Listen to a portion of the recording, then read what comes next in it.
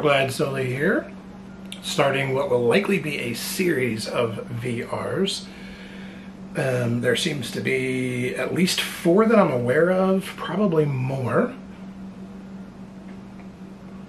It's almost, uh, I mean, it's been really hard to keep up with all the, the GAWs, which, um, you know, like I said in the other day's video, it makes it kind of difficult to decide when to do yours, when to do one, if you're going to do one, etc. But anyway, um, this VR is for Mo Piping, and I found uh, Mo Piping's channel quite a while ago, and have been watching for some time. Um, I love what she does.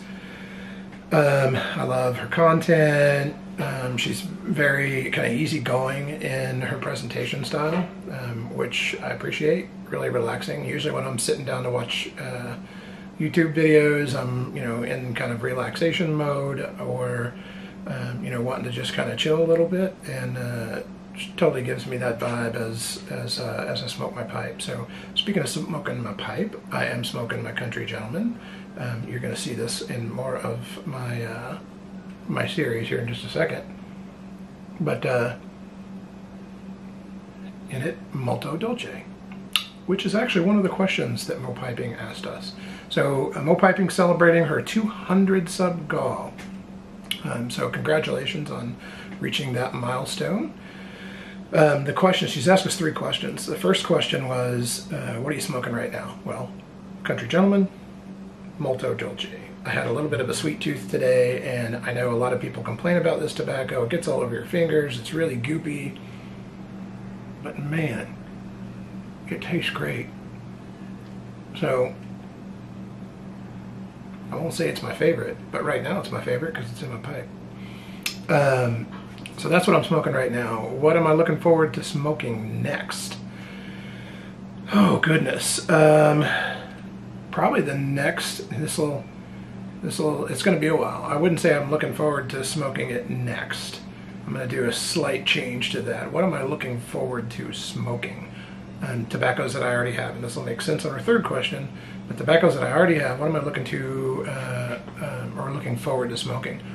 And I'd have to say, as a fairly new pipe smoker, I'm really looking forward to being able to try some vintage tobacco out of my own cellar. I've I've looked quite a bit for you know vintage tobacco, finding vintage tobacco on, online, and it's expensive. And so I've started my own cellar. Um, I've got actually quite a few in my cellar already.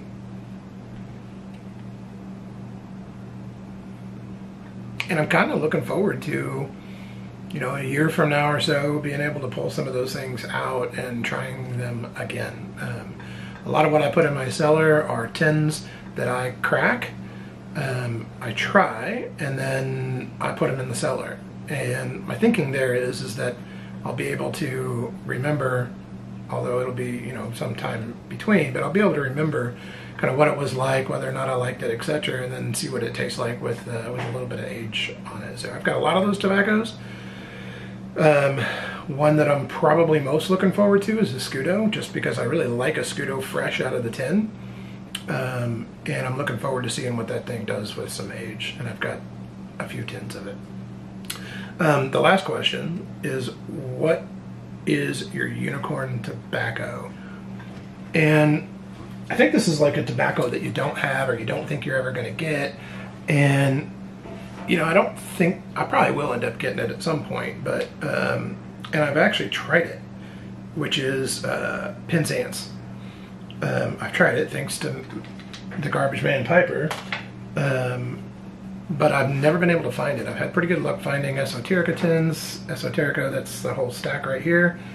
Um, I've had well, and by the way, this whole stack, uh, minus two of those tins, is uh, thanks to Frosty Piper and his GAW, which I've already done a video about. But I've had trouble finding Penzance. I mean, everybody wants it, everybody jumps on it. It's always the first to go out of stock. Um, so I imagine at some point I'll probably get lucky and maybe find it in stock, find it as soon as it comes out, etc. Because I check the sites quite often, not necessarily for Penzance, but word seems to spread within the community fairly quickly.